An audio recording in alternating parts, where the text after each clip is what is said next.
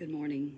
Just got back from all those fantastic yard sales, and I found so many cute things. And I found some flowers that I just love. This one is so unusual. Look at this one. Kiddos, this is the day that the Lord has made. Let us rejoice and be glad in it. And I'm thanking Him for it.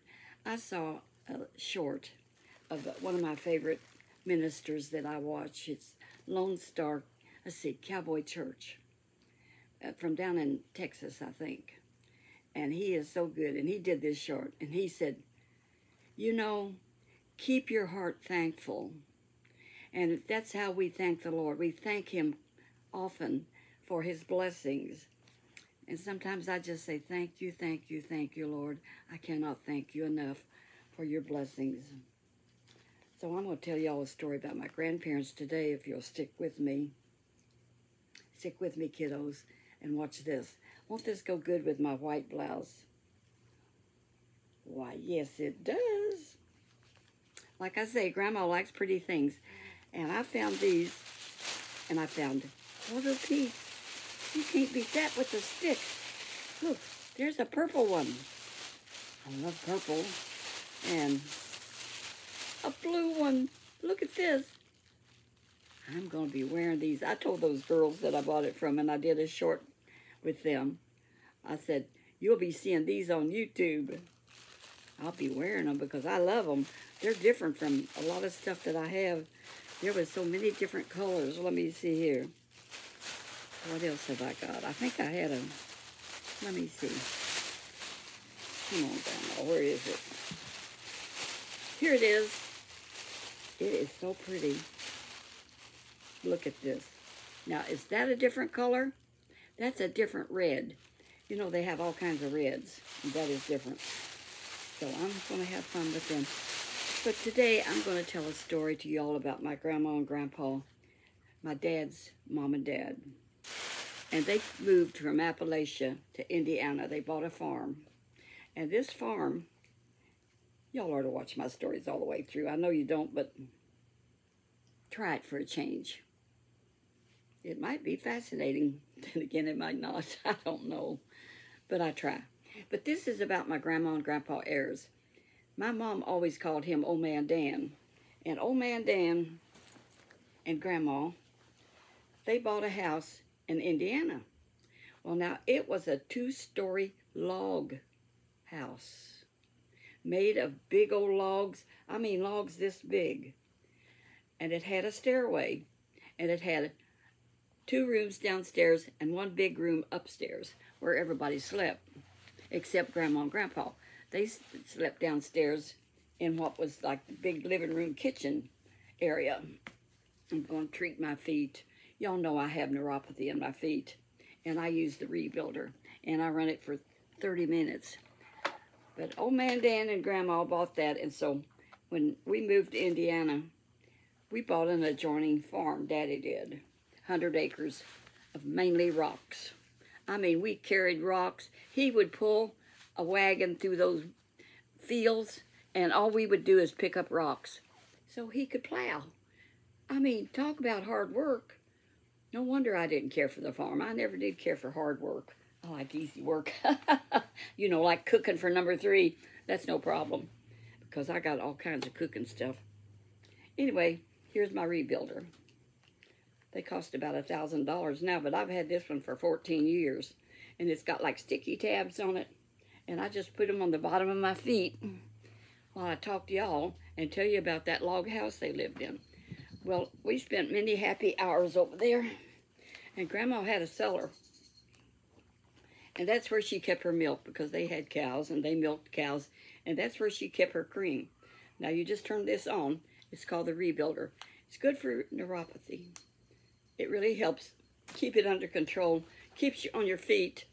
And I'm 90, and I'm still walking around the yard sales. And I saw birds this morning in a little birdhouse at one of those yard sales, and that mom and daddy bird was coming in feeding them babies there.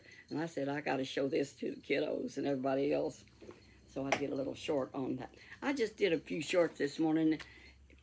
I pray before I leave and I say, Lord, direct my path and help me to find interesting things to show everybody. Because it gets boring sometimes. I mean, Friday was boring. James made a safe trip back from Bluegrass, but he said he never saw such crooked roads and so narrow, and he's not going back down there anymore. And I'm glad because he said he got lost two times on those backcountry roads. He had to stop one lady. She was mowing her yard. Where am I at and how do I get out of here? But he made it. He made it home. I said, I don't think I'm going to let you out by yourself anymore. But I can't go with him. But I do good directions. But he said the thing of it is, he was so far away from uh, Wi-Fi that he had no GPS. So he was lost.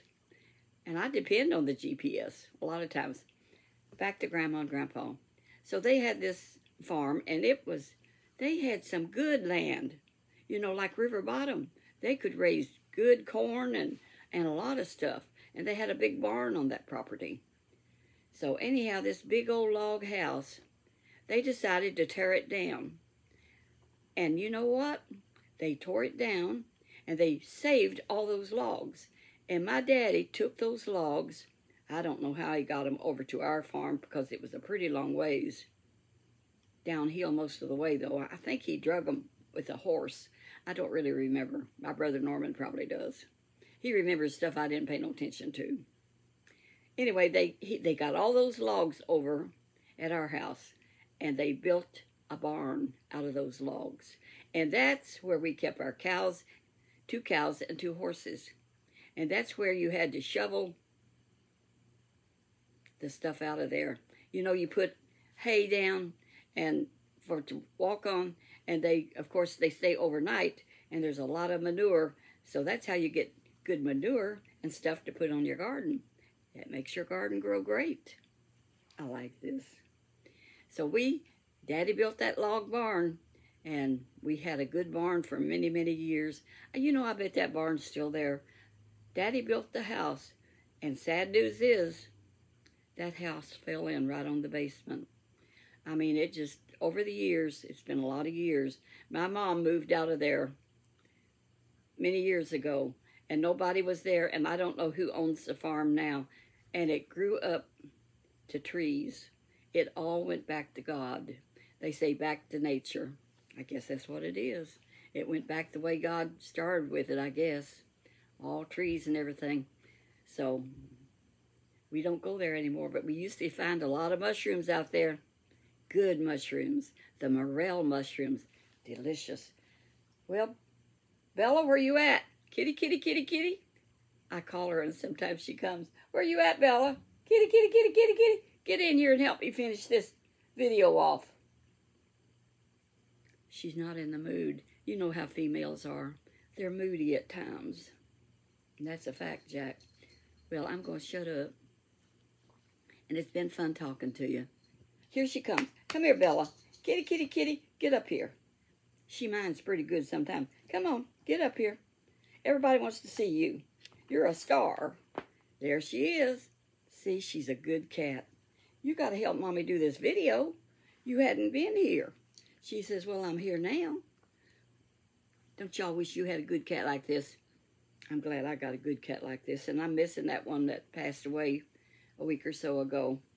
My house almost seems empty with only one cat over at James's house. But we've had a lot of fun today hitting all those interesting yard sales. So he's gone to go get something. He bought some table and chairs that he can put in one of his houses. She just has fun flipping her tail in my face. So God bless y'all. Walk that walk where Jesus would be pleased with you. I love talking to you. I'm not bashful. I'm a little outgoing. Bye-bye. Uh-oh, I forgot my glasses. You know what? I just hate to look cross-eyed to you all. It just irritates me. But when I put these on, I'm a happy woman. All right, Bella. Let's tell them all bye-bye. Turn around this way. Bye-bye, everybody.